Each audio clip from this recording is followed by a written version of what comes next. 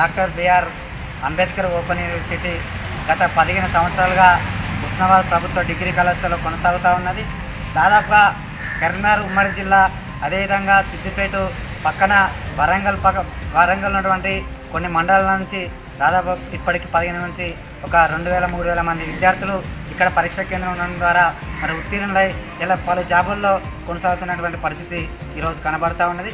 అయితే ప్రధానంగా గత రెండేళ్ళ నుంచి ఈ యొక్క హుస్నాబాద్ పరీక్ష కేంద్రాన్ని సిద్దిపేటకు ఈ యొక్క డిగ్రీ కళాశాల ప్రిన్సిపాల్ కావాలనే ఉద్దేశంతో మరి ఇక్కడి నుంచి తరలించి వేయడం జరిగింది.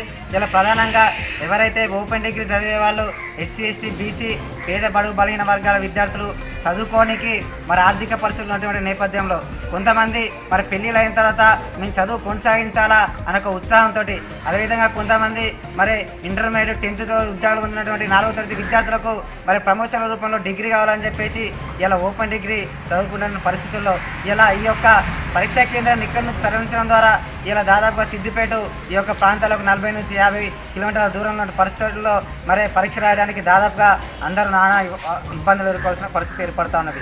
ఇలా గర్భిణీలు కానివ్వండి ఇలా వృద్ధులు కానివ్వండి ఇలా విద్యార్థులు విద్యార్థులను కూడా ఇలా అంబేద్కర్ యూనివర్సిటీ వైపు మొగ్గు చూపుతున్న నేపథ్యంలో దాన్ని మరి నిర్వీర్యం చేసే విధంగా ఈ యొక్క డిగ్రీ కళాశాల ప్రిన్సిపల్ గారు సరే ఇంటర్మీడియట్ కళాశాల ప్రిన్సిపల్ గారు మరి పరీక్షను నిర్వహించడానికి సుముఖంగా ఉన్నా కూడా మరియు ఏదైతే డిగ్రీ కళాశాలలో ఓపెన్ యూనివర్సిటీ ఓపెన్ డిగ్రీ కళాశాలలో మూడు నాలుగు వందల అడ్మిషన్లు అవుతున్నాయి మరి మాకు రెగ్యులర్ డిగ్రీలో పదిహేను పదహారు అడ్మిషన్లు అవుతున్నాయి. కాబట్టి ఇది ఇక్కడ నుంచి ఎత్తివేస్తేనే ఈ యొక్క అంబేద్కర్ యూనివర్సిటీ అనేది డిగ్రీ కళాశాల అనేది పోతాయని చెప్పేసి ఒక దురుద్దేశంతో ఇలాంటి చేతగాక పక్కపండి ప్రభుత్వ జూనియర్ కళాశాలలో రెండు వందల యాభై మంది ప్రతి అకాడమికలు చదువుతా ఉన్నా కూడా పక్కపండి గర్ల్స్ బాలికల జూనియర్ కళాశాల రెండు వందల యాభై మంది చదువుతా ఉన్నా కూడా వాళ్ళను తీసుకుపోవడంలో విప్లవం విప్లవం అవడమే కాకుండా ఇలా ప్రభుత్వ ఏదైతే అంబేద్కర్ యూనివర్సిటీ విద్యార్థులను నిర్వహణ చేయడానికి ప్రయత్నం చేస్తున్న నేపథ్యంలో ఇలా ప్రిన్సిపల్ గారు దయచేసి అర్థం చేసుకోండి ఈ యొక్క పేద బడుగు బలైన వర్గాల ఉష్ణమైన యొక్క విద్యార్థు విద్యార్థులకు మరి యొక్క ఉన్నత విద్య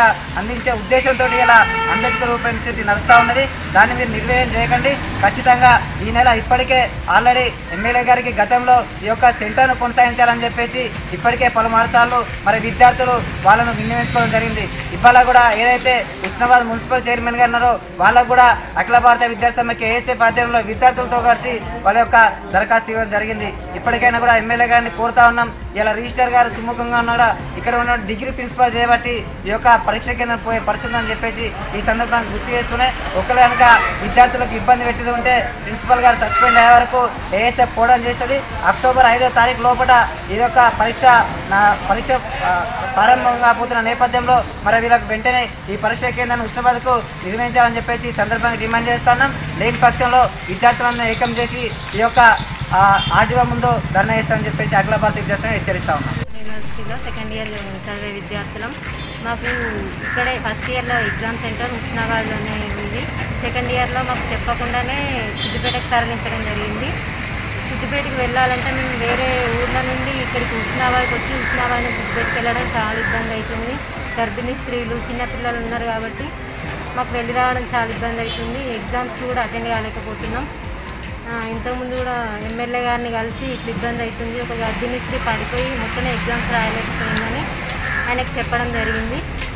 ఆయన కూడా స్పందించి చేస్తా అని అన్నారు కానీ ఇంతవరకు ఫిఫ్త్ లోపు మాకు ఎగ్జామ్స్ ఉన్నాయి కాబట్టి మా సెంటర్ మాకు ఇవ్వాలి అని మా విద్యార్థులందరం కోరుకుంటున్నాం.